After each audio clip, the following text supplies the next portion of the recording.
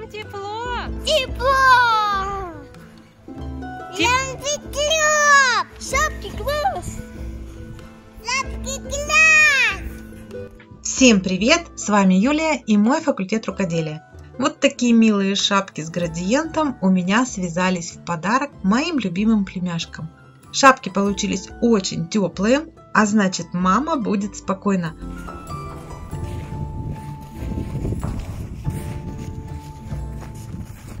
Сеня, тебе тепло? Тепло. К шапкам я связала еще и муфточки, так что девочки счастливы. В этом мастер-классе я расскажу и покажу, как вязались шапки. И в следующем видео расскажу о муфточках. Итак, начнем. Шапки я вязала из пряжи Alize Baby Wool. Для получения градиента вам понадобится два оттенка пряжи. Всего надо 5 мотков пряжи. Того цвета, которым будет связана резинка, надо 3 мотка, а того цвета, который переходит в макушку, 2 мотка.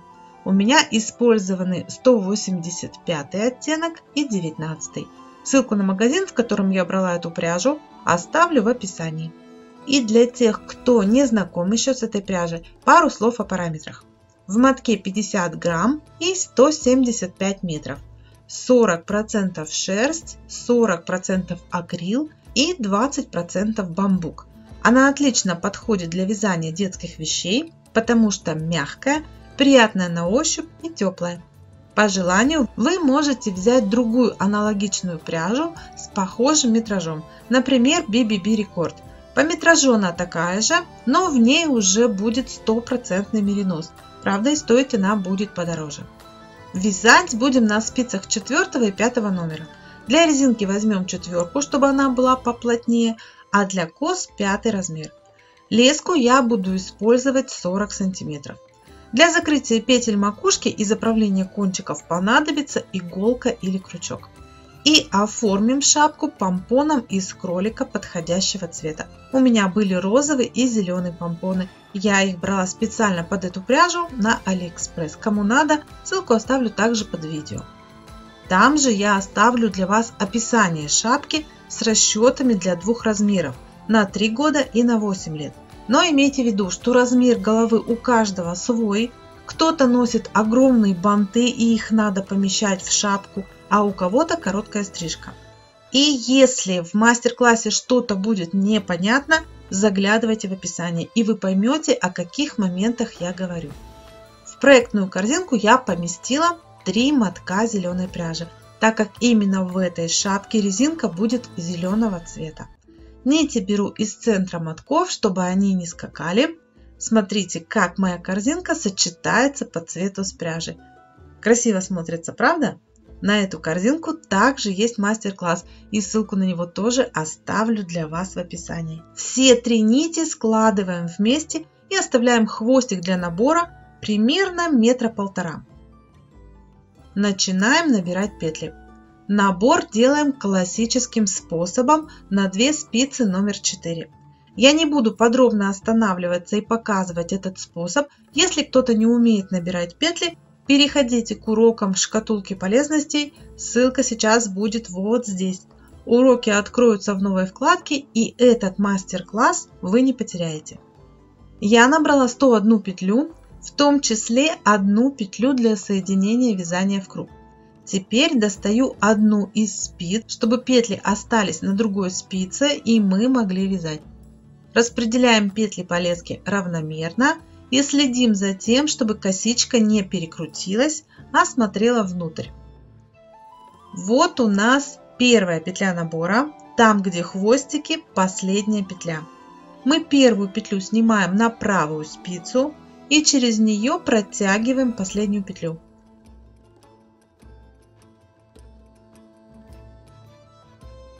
Теперь подтягиваем хвостики и получаем ровное соединение петель в круг. Таким образом у нас на одну петлю стало меньше. Теперь на правую спицу вешаем маркер для того, чтобы знать, где у нас начало ряда. И вяжем резинку 1 на 1. Одну петлю лицевую, следующую изнаночную и так далее.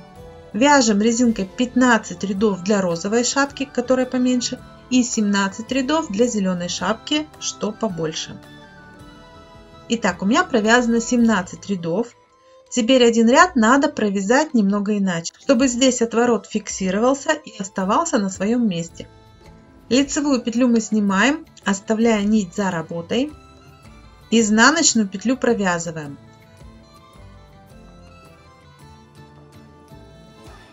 Снова лицевую петлю снимаем, нить за работой, изнаночную провязываем. Лицевую сняли, изнаночную провязали. Таким образом, отворот на шапке сам будет складываться и держаться на одном месте. Продолжаем вязать этот ряд до конца и после него вяжем еще 17 рядов. Встречаемся в 36 ряду.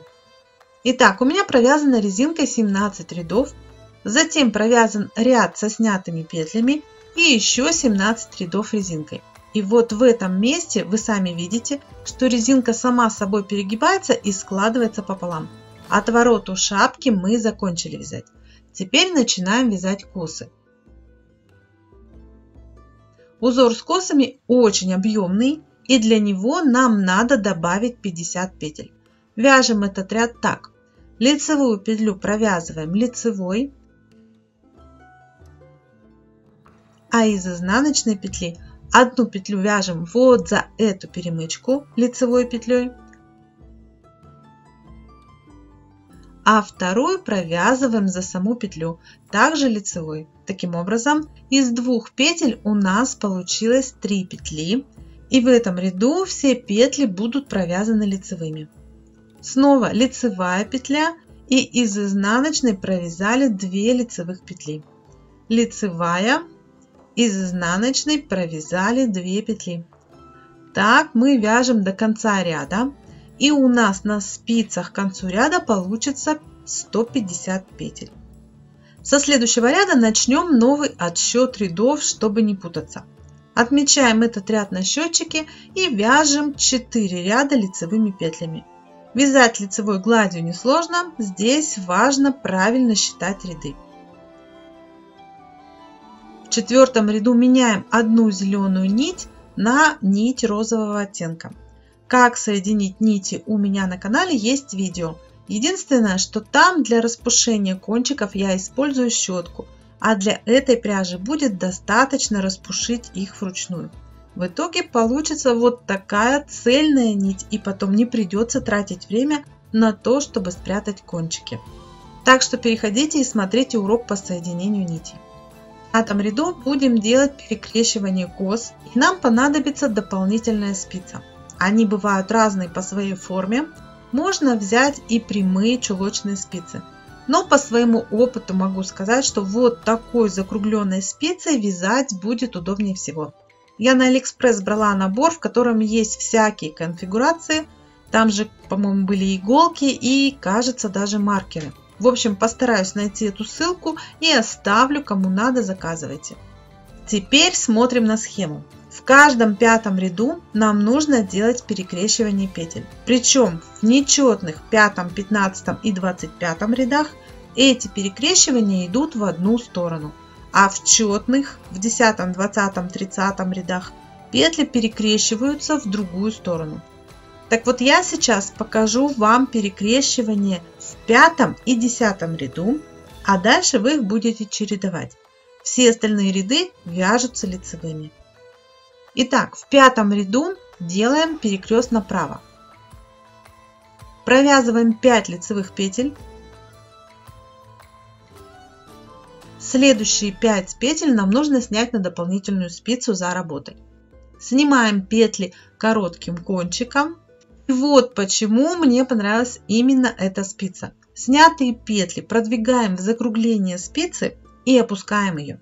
И у нас ничего не торчит и не мешает нам. Дальше мы провязываем следующие 5 петель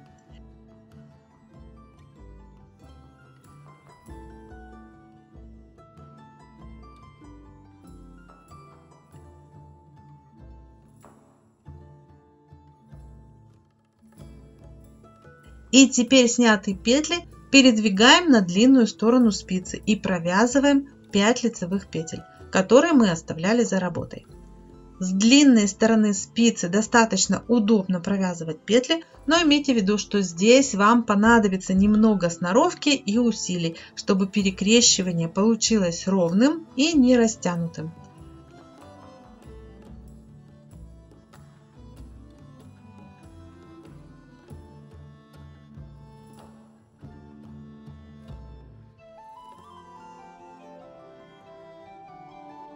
Вот так должны выглядеть перекрещенные петли. И раппорт узора повторяется. Снова вяжем 5 лицевых.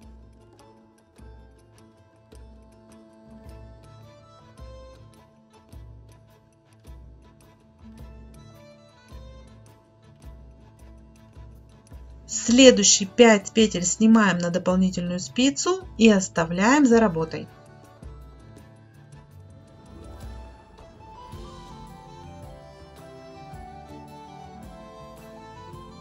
Провязываем 5 лицевых петель с основной спицы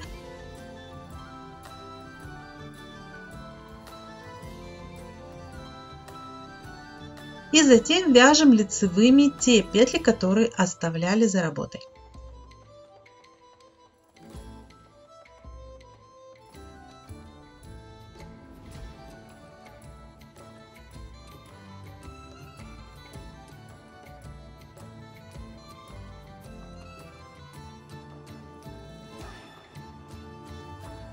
И таким образом мы вяжем весь пятый ряд, а затем 15, 25 и так далее. Вяжем дальше. С 6 по 9 ряд провязываем все петли лицевыми. Встречаемся в 10 ряду. И я совсем забыла, надо было еще в первом ряду сменить спицы на пятый размер.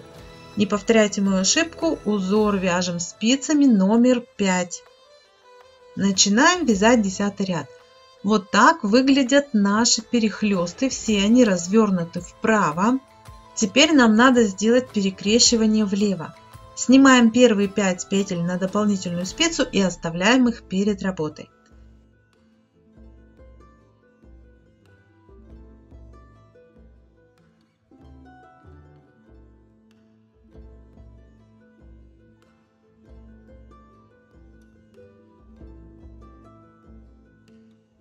Далее провязываем 5 петель с основной спицы.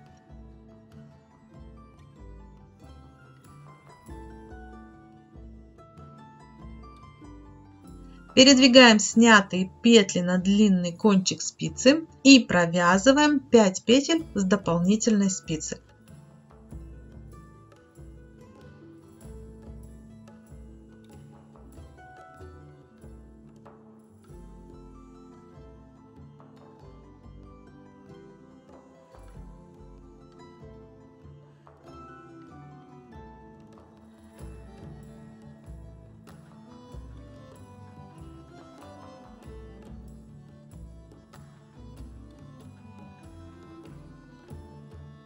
Таким образом, перекрещивание сделали.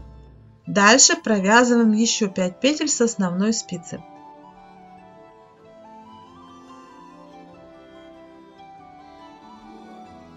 Раппорт закончился. Снова снимаем 5 петель на дополнительную спицу.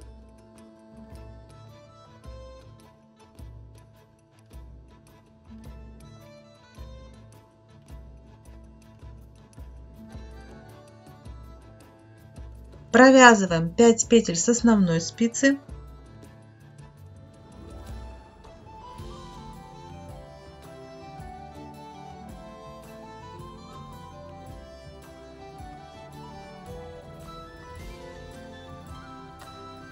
Передвигаем петли и провязываем 5 петель с дополнительной спицы.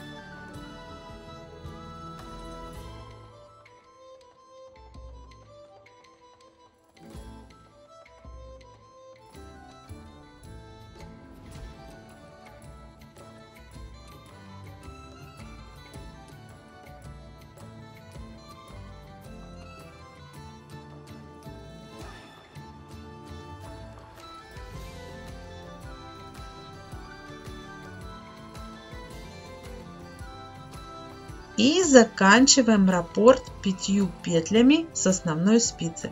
Так продолжаем вязать этот ряд до конца.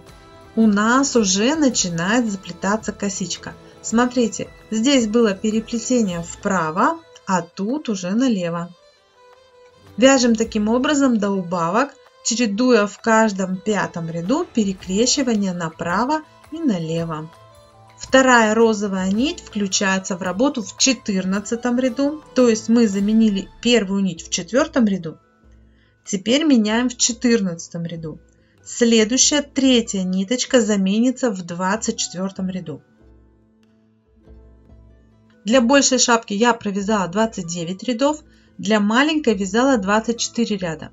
Я прибавила 5 рядов для старшей сестренки, так как у нее постоянно хвостики косички на голове, а маленькую пока не заплетают. И поэтому у меня сейчас будет 30 ряд и перекрещивание, как в 10 ряду налево. А если вы вяжете меньше размер, перекрещивание у вас будет вправо. С этого ряда мы будем делать убавки для формирования макушки. Но так как мастер-класс получается объемным, я решила разделить его на две части. И об убавках расскажу в следующем видео. Так и вам будет проще находить нужные моменты, которые захочется пересмотреть. Так что на сегодня я с вами прощаюсь. Продолжим в следующем уроке. Вяжите со мной, вяжите лучше меня, а главное, вяжите с удовольствием. С вами была Юлия и мой факультет рукоделия. Пока-пока!